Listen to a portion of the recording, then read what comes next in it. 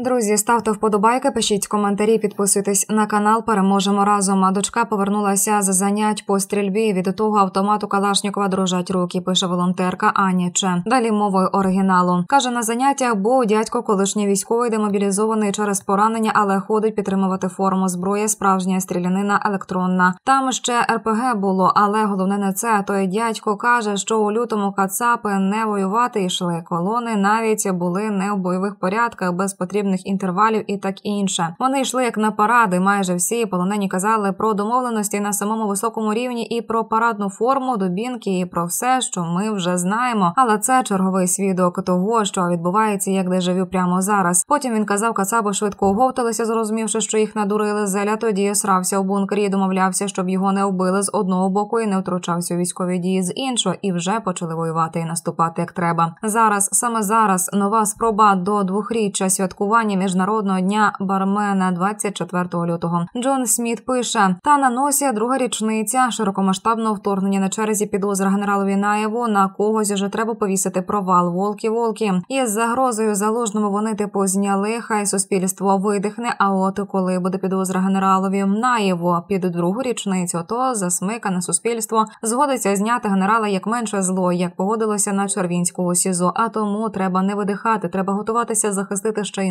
Наєва, якщо спробують його притягнути, і будь-кого на кого спробують повісити шашлики. Бо Зеленському спершу було по, потім приєбалі, а потім він готував березневу капітуляцію у Стамбулі. Це він здав наші ракети, а потім змушений був підписати капітуляцію через блокаду моря, так звана зернова ініціатива. Якби знову лише Микола і патрони винайшли морські дрони, як до того дві ракети Нептун, якими втопили російські кораблі, то так би й досі сиділи заблоковані, втрачаючи мільярди. І за два роки єдності навколо президента суспільство так і не отримало відповідей, хто здав південь, північ, які призвели до Маріуполя і Бучі і до полону азовців. А значить, на когось на другу річницю треба скинути провал. Але правда у тому, що генерал Наєв якраз був одним із генералів, який не повірив у розхолоджуюче базікання Зедента про все під контролем, а діяв ще ввечері 23 лютого, коли сам Зеленський запевнив усіх, що причин для безсонної ночі немає. Пішов спати. Наєв спати не ліг, вирішив довіритися не начальникові, а власній чуйці і поїхав не до дружини, а на командний пункт, де дав наказ зібрати всім командувачам. А тому в результаті уже о третій ночі, коли сам Зеля спав, серйозні люди з країни нас уже захищали. І військове командування, хоча б не було захоплене зненацька, що генерал мав робити, він робив.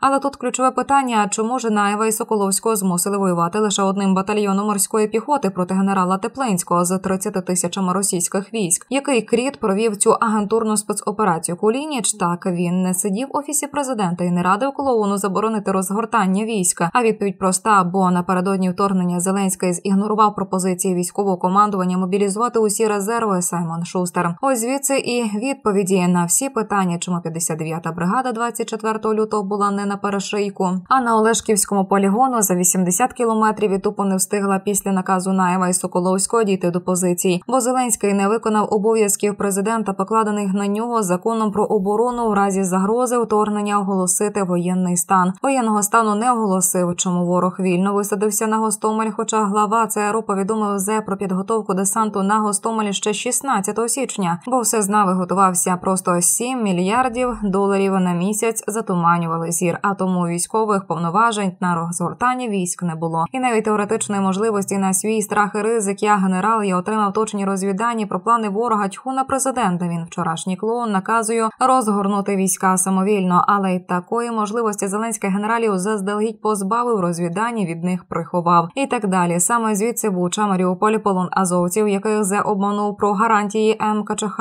смерті полонені мільйони біженців. Історія нас вчить, що хтось завжди має відповідати за проїбалі. Якщо це не істинний винний, то потім нові жертви відповідають своїми життями. Цей винний зараз відповідати не хоче, а тому відставка залужної підозра наєво не дозволити цього обов'язок нашого суспільства. До зустрічі, друзі. Ставте вподобайки, пишіть коментарі, підписуйтесь на канал. Переможемо разом.